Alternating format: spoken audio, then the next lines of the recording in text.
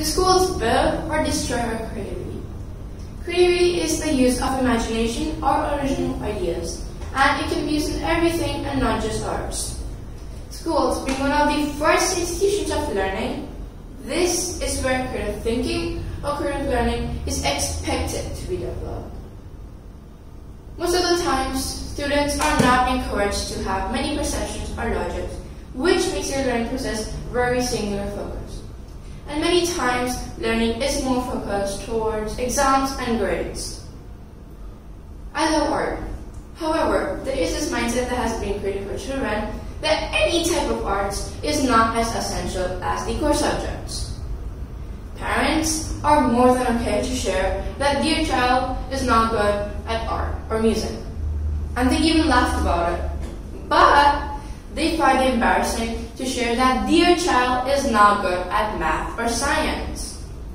There are more and enough tuitions for maths, science. However, arts, it is just considered as a hobby or something you do in your vacations. Now this is what I disagree with. I prefer doing art and music rather than science and math. Why? Not because I like music and art, but because I believe that they develop my mind and my creativeness in many ways which a lot of subjects may not be able to. Creativity is one of the most essential concepts out of all that a child needs. Now, kids being taught in such a single focused way have no exposure to their abilities at all, in view of the fact that they are being held against their will. Now, this is the attested question comes. Do schools kill our creativity? Some people, yes. Like Ken Robinson and my mom. But to some people, no, not at all. I can relate this with my little sister.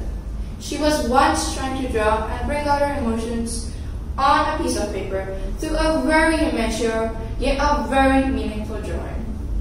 And there comes my aunt bombarding her ideas, telling her what to do, molding her from her own point of view. Opinions, opinions, opinions, questions, questions, questions. And that young child's creativity sinks under the skin of manipulators, or rather, the killers of creativity.